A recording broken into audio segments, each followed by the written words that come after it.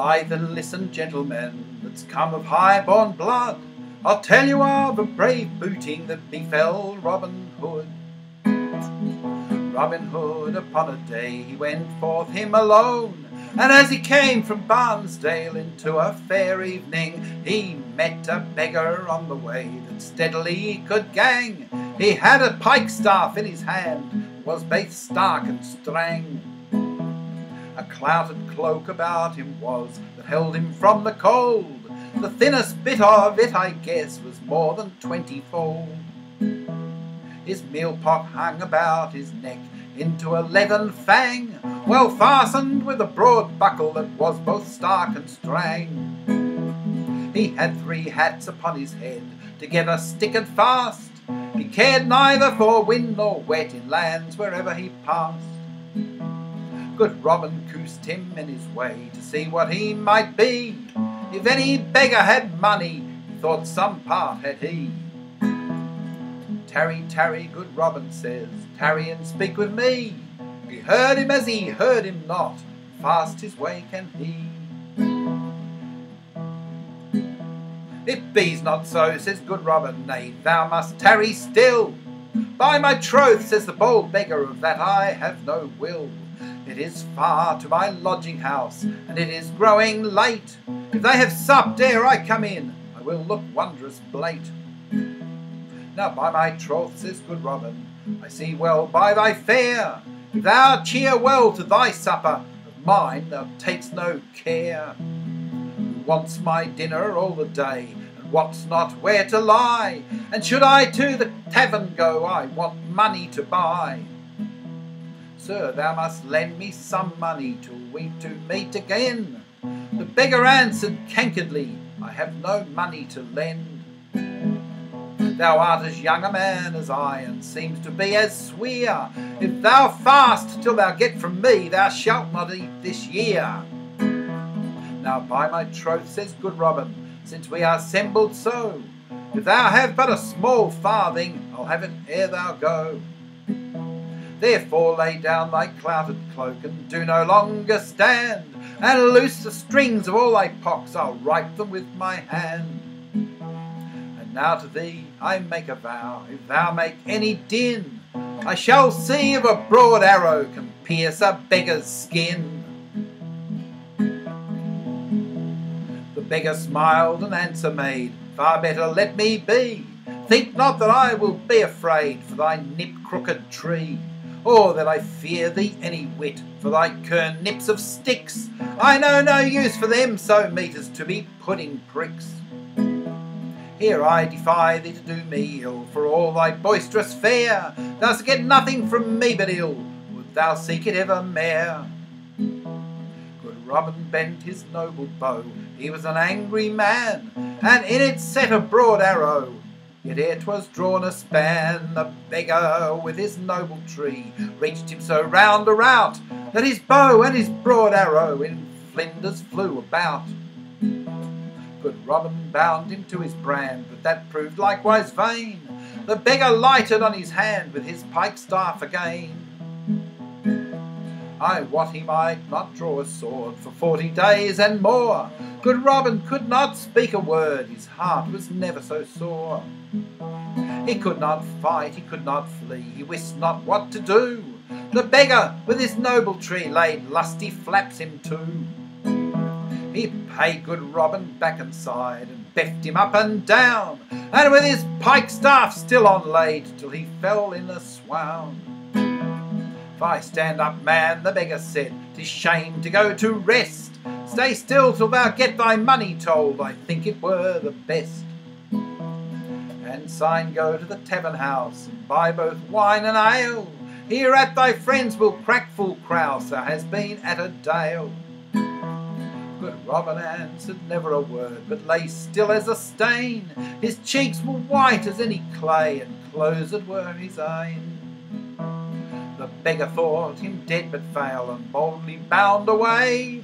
I would you had been at the dale, and gotten part of the play. Now three of Robin's men by chance came walking on the way, and found their master in a trance on ground where he did lay. Up have they taken good Robin, making a piteous bier, yet saw they no man there at whom they might the matter spear. They look at him all round about, but wounds on him saw none, yet at his mouth came bocking out the blood of a good vein. Cold water they have taken sign and cast into his face. Then he began to lift his eyne and spake within short space. Tell us, dear master, says his men, how with you stands the case. Good Robin sighed ere he began to tell of his disgrace. I have been watchman in this wood near hand this forty year, yet I was never so hard bestead as you have found me here. A beggar with a clouted cloak, in whom I feared no ill, hath with a pike staff clawed my back, I fear it shall never be well.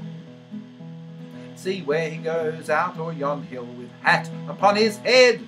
If ever you loved your master well, go now revenge this deed and bring him back again to me, if it lie in your might, that I may see before I die him punished in my sight.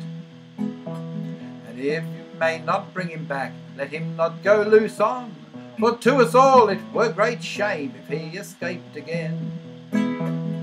One of us shall with you remain because you're ill at ease, the other two shall bring him back to use him as you please. Now by my troth, says good Robin, I trow there's enough said. If he gets Scarf to wield his tree, I fear you'll both be paid.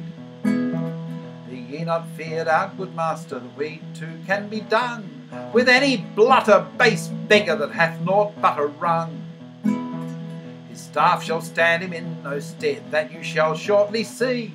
But back again he shall be led, and fast bound shall he be to see if you will have him slain or hanged on a tree. Cast you slyly in his way before he be aware, and on his pike staff first lay hands, you'll speed the better far. Now leave we Robin with his man, again to play the child, and learn himself to stand and gang by holds for all his isle. Now pass we to the bold beggar that raked o'er the hill, who never mended his pace no more, nor he had done no ill. Young men knew the country well, so soon where he would be, and they have taken another way, was nearer by miles three. They rudely ran with all their might, spared neither dub nor mire. They stirred neither at lake nor height, no travel made them tire till they before the beggar won and goosed them in his way. A little wood lay in a glen, and there they both did stay. They stood up closely by a tree in ilk side of the gate, until the beggar came them to that thought not of such fate. And as he was betwixt them passed, they leapt upon him baith. The one his pike staff gripped fast, they feared for its scathe. The other he held in his sight, a drawn dirk to his breast, and said, False carle, quit thy staff, or I shall be thy priest. His pike staff they have taken him fray, and stuck it in the green. He was full laith to let it gay, it better might have been.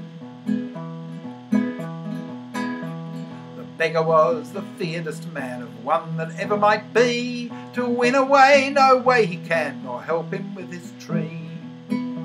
He wist not wherefore he was ta'en, nor how many was there. He thought his life days had been gone, and grew into despair. Grant me my life, the beggar said, for him that died on tree, and take away that ugly knife, or then for fear I'll die. I grieved you never in all my life, by lake nor yet by air. Ye have great sin if ye should slay a silly poor beggar. Thou lies, false loud, they said again, by all that may be sworn, thou hast near slain the gentlest man that ever yet was born. And back again thou shalt be led, fast bound shalt thou be, to see if he will have thee slain, or hanged on a tree. The beggar then thought all was wrong, they were set for his rack. He saw nothing appearing then but ill upon worse back. Were he out of their hands, he thought, and again had his tree, he should not be had back for naught with such as he see. Then he bethought him on a while if it could take effect, how he the young men might beguile and give them a begeck. Thus for to do them shame or ill, his beastly breast was bent. He found the wind grew something shrill to further his intent. He said, Brave gentlemen, be good, and let the poor man be. When ye have taken a beggar's blood, it helps you not to flee. It was but in my own defence, if he hath gotten scathe, that I will make a recompense much better for you both.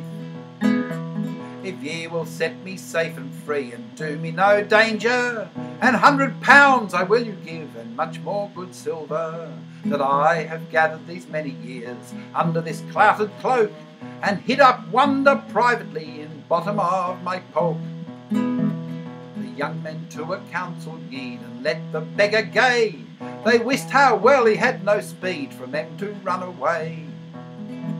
They thought they would the money take, come after what so may, and then they would not bring him back, but in that part him slay. By that good Robin would not know that they had gotten coin, it would content him for to show that there they had him slain.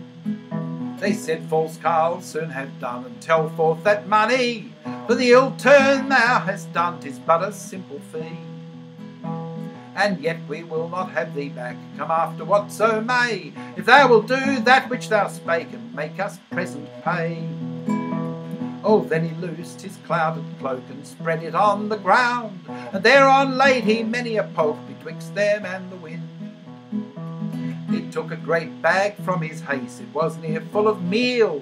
Two pecks in it at least there was, and more I wot full well.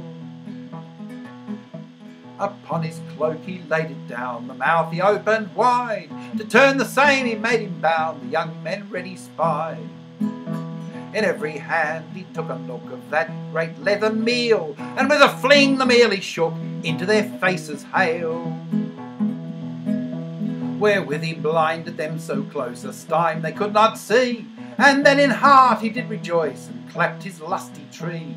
He thought if he had done them wrong in mealing off their clothes, for to strike off the meal again with his pike staff he goes. Or any one of them could red their eyne, or yet a glimmering could see. Ilk ane of them a dozen had well laid on with the tree. The young men were right swift of foot and boldly ran away.